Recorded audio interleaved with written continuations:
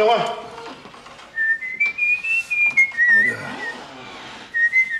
Oh, pa. Je fluit. Niet uitgeslapen, zeker? Nee. Een bank is om op te zitten, niet om op te liggen.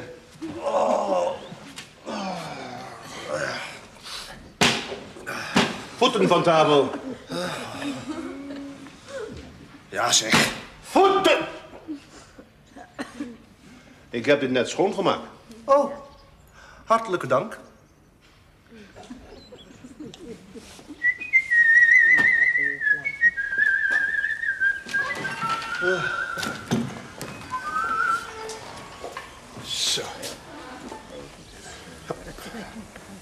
Hoi.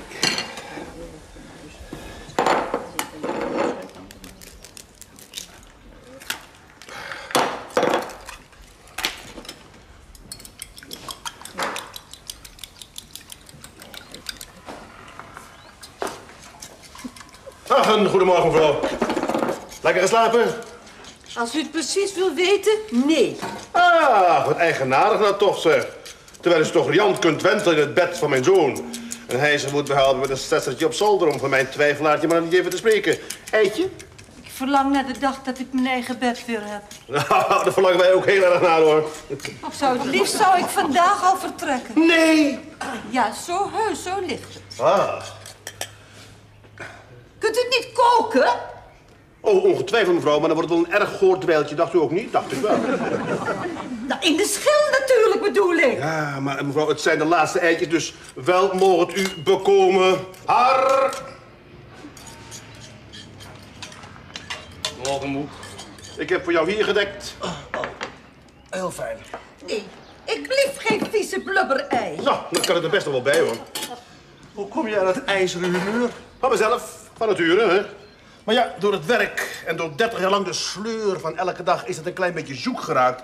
Ja, nou, de drukte vanaf is, komt het vanzelf weer naar boven. Hè? Nou, dan wordt het tijd dat je weer aan het werk gaat. Eh, laat dat jouw zorg niet zijn, dat regelt mijn lichaam vanzelf. Zou uw lichaam misschien ook een crackertje met kaas kunnen regelen? Een crackertje met kaas, mevrouw, natuurlijk, met alle liefde. Glaasje melk erbij, want we mogen best wat extra's doen nu u vandaag weer naar uw eigen huisje vertrekt. Nee. Ja, ze gaat weer helemaal alleen in haar eigen bedje slapen. Oh. Ik dus ook? Goh, dat u vertrekt. Ja, het wordt allemaal wat te veel. Tuurlijk. Maar we zullen u wel missen. Ach, u hopt maar weer eens een keertje aan, hoor, na een week of twee. Thea zou het me nooit vergeven. Heus wel. Vast wel. Echt. Nee, nee, nee, nee, nee.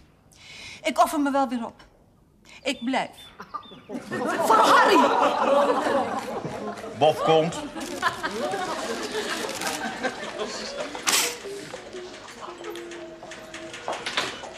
Goedemorgen. Buongiorno. Deur dicht.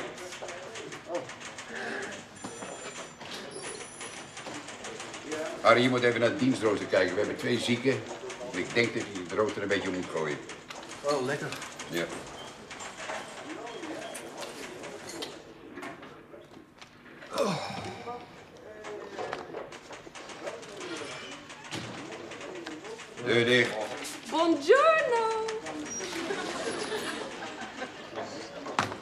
Evert, ga nog maar niet zitten. Je bent beneden nodig aan de balie. Ciao. Deur dicht. Ja.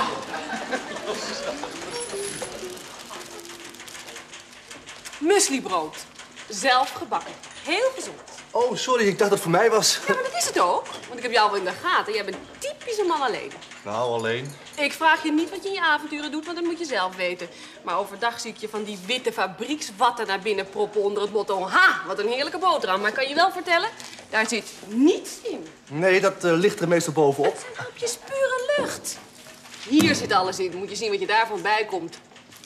Nou, eh, dankjewel. oh, nou, het gleed zo van mijn bureau. Wat een klap, hè? Heerlijk. Ben je er al uit, Har? Eh, ja, chef, ja, ik, ben er, eh, ik, ik ben er zo uit. Ik, eh, Nou, dat mag dan een wonder heten. Ik ben er al een uur mee bezig en ik kom er niet uit. Nee, het valt er niet mee. is dit? Brood. Oh, ik dacht ik in het verbouwen was thuis.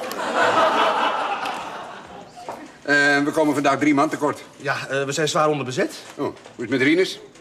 Irritant goed. Oh, Zingt, fluit, klopt, veegt en zuigt. Maar aan zijn werk is er niet toe. ja, ik kan hem moeilijk dwingen, maar hij helemaal is opgeknapt... Nou, chef, hij is het hele bureau vergeten. Ja, omdat het bureau hem vergeet is logisch, toch? Ja, sorry, ik wil me er niet mee bemoeien, maar als iemand ziek is, dan stuur je hem toch een bloemetje of een fruitmand? Tenminste, zo ben ik. Een bloemetje. En als hij daarna nog niet beter is, dan dreig je even met de psychiater. Mag hij komen voor een onderzoek? Een bloemetje? En dan de psychiater. Ja, alleen als dreigement, hoor. Dat blijkt doorgaans heilzamer dan een bedevaart naar Lourdes. Oh, nee, nee, nee, nee. Ik vertrouw Rinus volkomen. Maar een aardigheidje had het toch wel even afgekund, hè? Goed, een cadeau. Wieke, zorg jij voor uit de lief van Leekpot. Hoe staat het met het rooster? Ja, eh, slecht. Maar als het niet anders kan, dan ga ik zelf wel op de wagen. Uitstekend. Braaf kind.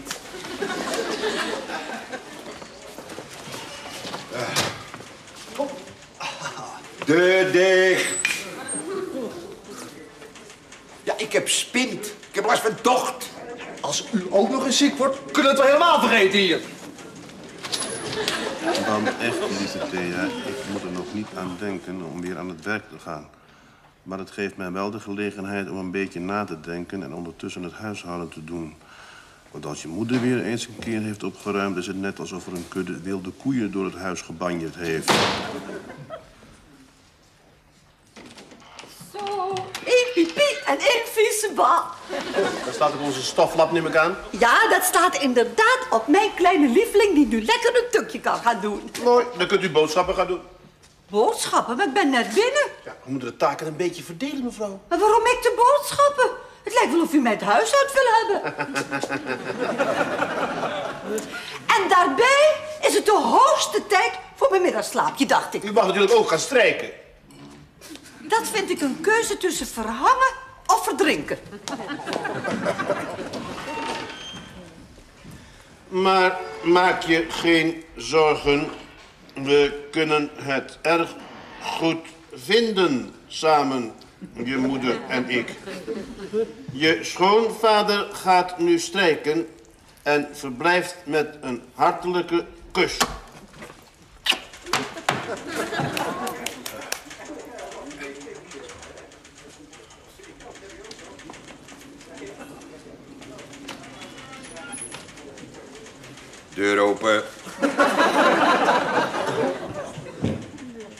Deur nou open. Ik heb net gespoten, het stinkt hier als de hel.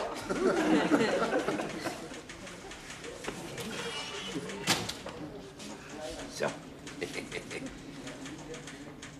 Druk geweest? Buitengewoon rustig, hemel zij dank. Het lijkt wel of iedereen de stad uit is. Ja. Op straat is ook niks. Ach, toch niet. Soms wou ik dat ik ook zo'n leuke hobby had. Net als u. Wat dacht je van een blokkendoos? Voilà. Voor Rinus.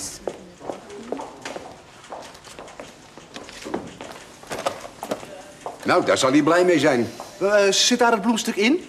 Wel nee joh, dit is veel beter dan bloemen. En op de gang staat nog een ezel en wat oude doeken. Wat zit daar dan in? Hooi? Ik heb het over een schildersezel. Ik kwam dus die vriend tegen, die kunstschilder die nu even tijdelijk zonder uitkering zit en die zat vreselijk omhoog. Nou, toen heb ik hem het geld gegeven en hij kon deze spullen best missen. Goed, hè? Fantastisch. Wat moeten we daar nou mee? Oh, maar dit is veel beter voor je vader. Hij moet gaan schilderen, bezigheidstherapie. Hij moet in de vrije natuur gaan staan. Met dat lege doek voor zich en de wind waaiend om zijn hoofd. En dan moet je zien hoe snel hij weer terug is op kantoor. Maar jij had ons een fruitmand beloofd. Ja, maar dit leek me ineens veel beter. En dan doe ik dat stom, hè? Maar zo ben ik. Zoiets kan je hem toch niet aanbieden? En wie? Wie moet hem dat nou aanbieden, hè?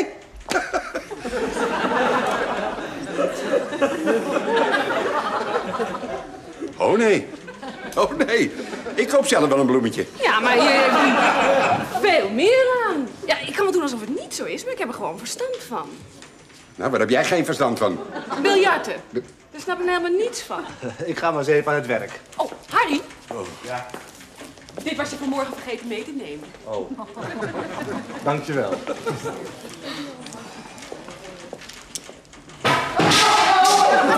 En denk op de ezel! Ezel.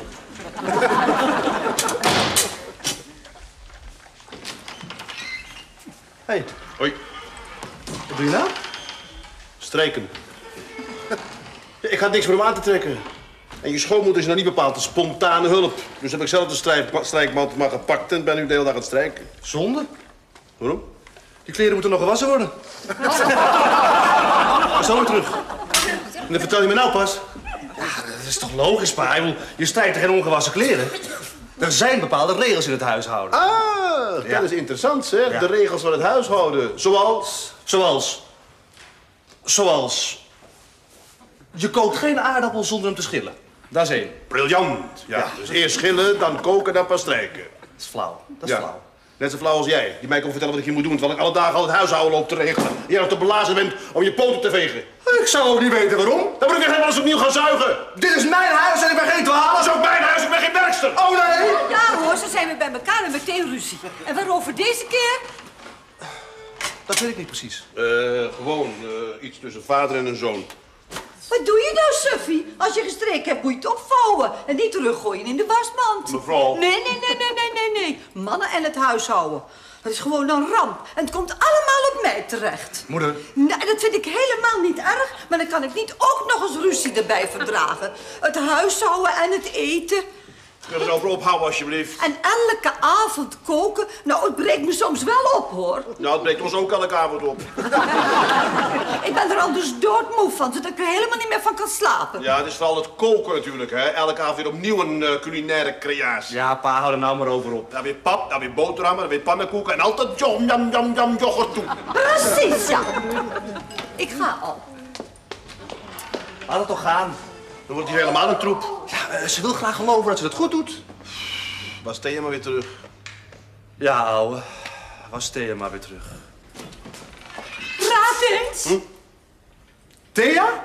Thea, die, die zit in Brussel, dacht ik toch te weten. Het is je vriend, ouwe brombeer.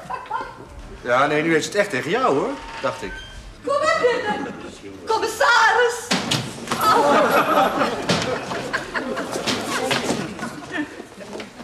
Ja, neem me niet kwalijk dat ik stoor. Natuurlijk niet, jongen. Ah, wat een verrassing. Ja, ik denk, ik ga maar eens even bij hem langs om te kijken hoe het gaat. Ja, was je weg naar de vuilnisbelt? Nee. nee, eh, het is voor jou. Voor mij? Ja, van die jongens. Wat, wat moet ik met die troep? Dat is toch reuze aardig? Nou ja, ik zou ook niet weten wat ik ermee zou moeten doen. Maar het is toch erg attent. Dat wel. Ja, het was zo moeilijk inpakken. Eh, ja, Harry. Dan ga ik maar even de keuken in.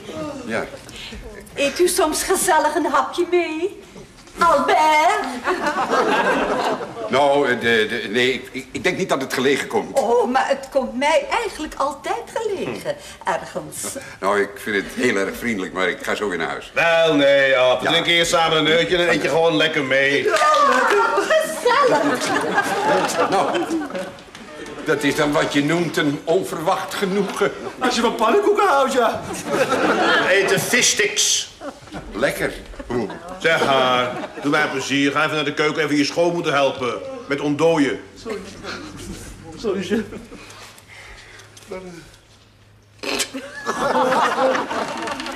Zeg, Ab. Hm? Wat is dit nou? Cadeautje. Denk je dat hij dat lekker vindt? Yoghurt met verse vruchten?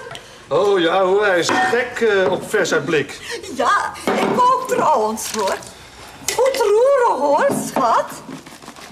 Ja, zo is het goed, zeg. Je wordt al een hele kok. Zo. Nou, eens even kijken. Moet je dat nou koken of bakken? Koken natuurlijk. Bakken stinkt zo, hè. Ja, we hadden natuurlijk ook die eh, obligate fruitmand eh, kunnen kopen, of dat lullige bloemetje. Eh, dit vonden we leuker. Ja, ja. Ja, het is een idee van iemand die daar eh, verstand van heeft. Eh, verstand waarvan? Nou, verstand van... eh, eh, eh, van... eh, weet ik veel. Het heeft iets te maken met psychologie. Je moet naar buiten met een wit doek. Je geest laten waaien. En daar knap je van op. Nou, dat wilde ik je even laten weten. Ik mis je op dat bureau. En hiermee wilden we je dat laten voelen. Ja. Eh, nou ja, ja, ik weet nog niet precies wat ik ermee aan moet, maar eh, ik stel het gebaar in ieder geval heel erg op prijs. Dus. Goed. Laat je geest waaien en kom terug. Ik moet niet aan denken. Moet je niet goed? Ah, ik voel me uitstekend, maar ik moet er gewoon niet aan denken. Nou ja, je zou misschien eens eh, kunnen gaan praten met iemand die daar verstand van heeft. Psychiater. Ja, zeg, Ab, kom nou, ik ben toch niet gek? Nou ja, een, een gesprek met eh, zo iemand, dat kan toch geen kwaad? Het is altijd nog beter dan dit. Oh, ja, maar dat is niet van mij. hè? Nee, dat is van Florrie voor de zenuwen. Driemaal daags één tablet. Voor haar? Ja. Is toch veel te weinig.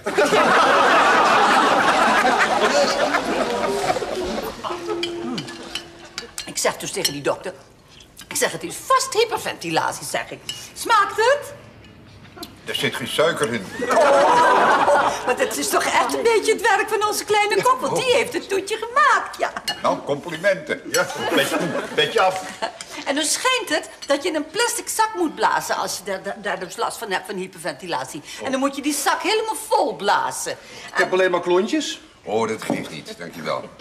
Dus bij de eerste de beste aanval, hup, pak ik zo'n plastic zak. Zo, zo, la, la. Ja. Eh, eh, eh, wacht even, Ab, laat mij eventjes. wacht. Oh, oh. Nou, ik pak dus die plastic zak en ik blaas er, hè, erin. Maar het gaat niet over. Ik blijf hyperventileren. En ik blazen, blazen, blazen. Maar ik kreeg die vuilniszak niet vol. Zeg, is dat niet gevaarlijk?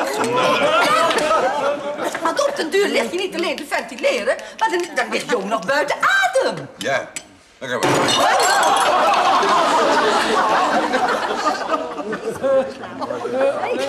Moet er nog iemand suiker?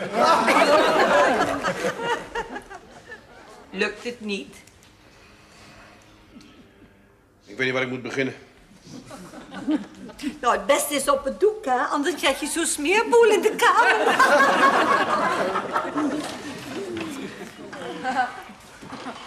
Moet dat nou hier? Ja, de, er was nergens anders plaats voor, hoor. Het is jullie cadeau. Nou, dan ga je toch lekker mee naar buiten? Het plens van de regen, jongen. Ja, dan maak je een aquarel. Het is pikken donker, grapjas. Oh, je knapt daar weer lekker op. Ik word die bloedzenuwachtig van. Arme meneer. Die mensen naar zijn werk gaan verlangen.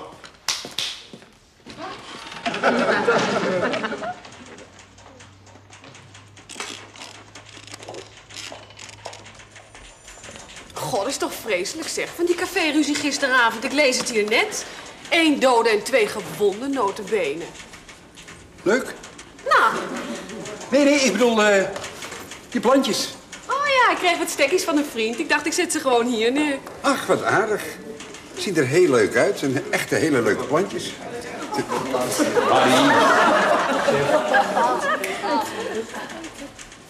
Mis jij niks? Wist ik niks. Nee, niet dat ik weet. Je broek. Oh. Ja, nee, dat komt. We hebben net die, eh, die dronkenlap opgepakt en die werd niet goed en lop, zeg hé, zo. eh, Er is toch geen reden om in je blote togers door het pand te lopen? Zitten dames bij? Mij kan dat niet schelen hoor. Mij doet dat niks, dat. Ja, nee, maar ik wil even een andere broek halen. Ja, maar je, je weet... Je, je, je weet dat je ervoor geschorst kan worden. Ja, chef, maar dan blijft er helemaal niemand meer over om het werk te doen. Je maakt me niet belachelijk, hè? je bent zelf al belachelijk genoeg. Ja, sorry, zo bedoelde ik het niet. Oh, nou, eh, maar voort. Heeft jouw vader eigenlijk al wat geschilderd? Eh, nee. Het komt vanzelf, heus. En als hij een doekje af heeft, neem het dan eens mee. Dan kun je namelijk reuze interessante dingen uithalen. Oh? Ze liggen daar gewoon hun hele onderbewustzijn in. Je leest als een boek eigenlijk. Tenminste, dat hebben ze me geleerd op die cursus. Ja, ja. Harry, schiet op. Oh, ja. Zeg, ik, ik, eh, ik heb die plantjes eens meer gezien, maar ik ben de naam kwijt. Oh, dit is gewoon zo'n soort uh, cannabis, hè? Ja, natuurlijk, cannabis, ja. ja. Wiet. dus eigenlijk. Ja. Wiet? Ja, of eigenlijk nederwiet, maar van een fantastische kwaliteit. Daar bouw je zo'n joint van. Wiet? Drugs?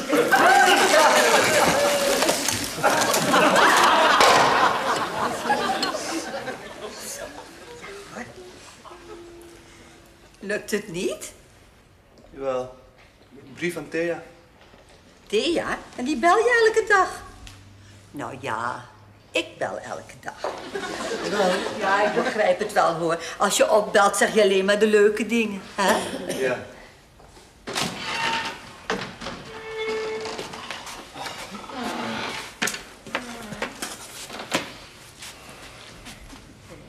We hadden jou een lekkere vaakman moeten geven. Met een beetje rust was ik veel tevreden geweest. Ja, ik doe ook geen nacht meer echt een oog dicht. Nou, ik ga even een ommetje maken. Als ik jou was, jongen, zou ik de fiets nemen, want de snackbar om de hoek is al gesloten.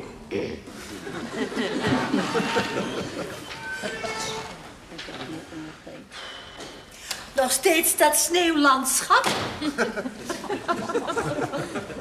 Het is moeilijk hè, schilderen. Valt niet mee hè.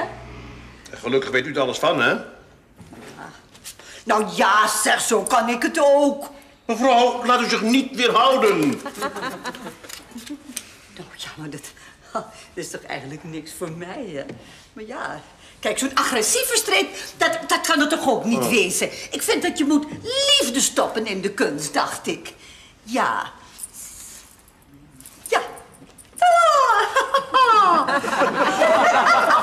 Ja, zo zou het moeten. Ja, zo moet het.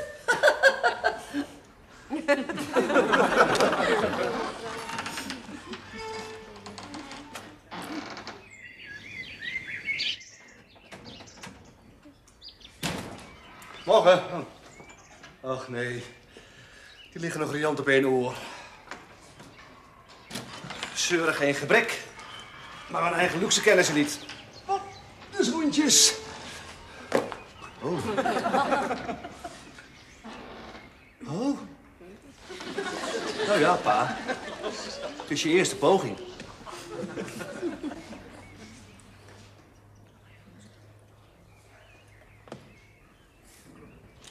Morgen.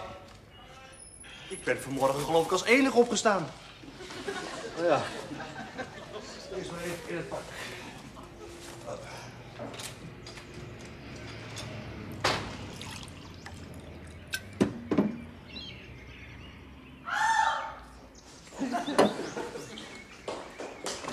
Het is weg. Wat is weg? Mijn werk, mijn werk is weg. Het werk weg? Dat lijkt me sterk. Daar stond het. Daar stond alleen dat doek. Nee, daar stond mijn schilderij. U wat? Oh, u hebt het toch gezien, dacht ik te weten, toen ik eraan bezig was? Ja, maar dat, was toch nog geen schilderij? Jazeker, dat was een schilderij, mijn schilderij, en nu is het weg. Oh, ja, ik begreep nog niet waar u het over had. Misschien weet Harry waar het is. Harry? Hij zal toch niet Waar gaat u naartoe? dat doek terughalen? Weet u dan waar het is? Tien tegen één dat ik het weet, ja. Oh, wat een geluk. Een geluk, mevrouw, zo'n regelrechte ramp. Het hangt misschien nu wel boven het bureau van Ab. Ah, Mijn chef. echt waar? Albert, wat een verrassing. Ik moet dat doek terug hebben. Ze hebben nou al genoeg om me gelachen. Oh, wacht even, dan ga ik met u mee. Wie had dat gedacht? Boven het bureau van Albert. Goh, dat is toch heel integer, hoor. En regelrecht uit expressionistische school, zo te zien. En toch met een vrije penseel. Ja, ik zeg ook maar wat, hoor, maar zo ben ik. Het heeft iets van een oerkreet, toch? Ik vind het spuuglelijk. Het is ergens wel te gek. Gek. Ja, dat was het woord waar ik naar zocht. En het getuigt van, ja, ja, wat zou ik zeggen? Je ziet toch duidelijk de brug tussen ich en über-ich. Het gevecht van het persona is gewoon niet opgewassen tegen de druk van de maatschappij. Ja, ja, ja, het is een neurotische geest. Ja, dat is wat ik bedoel met die oerkreet, hè? Hulp, roept het, help mij. En dat met een fantasie die als het ware gevangen zit in zijn eigen angsten. Ja, dat wel. Waar heb jij het over? Ik heb het over de artiest. Ik heb het over zijn verdrongen persoonlijkheid. Dat verdriet, ja, dat komt nu toch wel heel sterk op mij af. Nou ja, zeg, het gaat toch te ver zo. Nee, wacht even. Nou, Rinus, we hadden het net over je. Ja. Maar, eh... dat, dat schilderij... Ja, sorry, sorry pa, maar ik zag het vanmorgen staan en ik denk, neem het toch maar even mee. Ja, maar het is niet van mij. Nee, het is een eruptie uit je onderbewuste. Dat begrijpen we best. Je begrijpt er helemaal niks van. Nou, volgens mij heeft zij toch een hele duidelijke kijk op die dingen, hoor. Ik heb er een cursus voor gevolgd. En ja, sorry, het klonk misschien een beetje negatief, maar... Rinus, Rinus, ik zei je je moet ermee doorgaan. Gewoon ja, schilder het van je af. ik regel je verlof wel, dat komt best in orde. Jongens, luister nou eens eventjes naar me. Het is echt... Nee, dat komt echt in orde. Heus, echt waar. Wat, wat is er nou? Wat, wat, wat heb je nou? Niks. ik vraag me alleen maar af. Wie is er hier nou gek?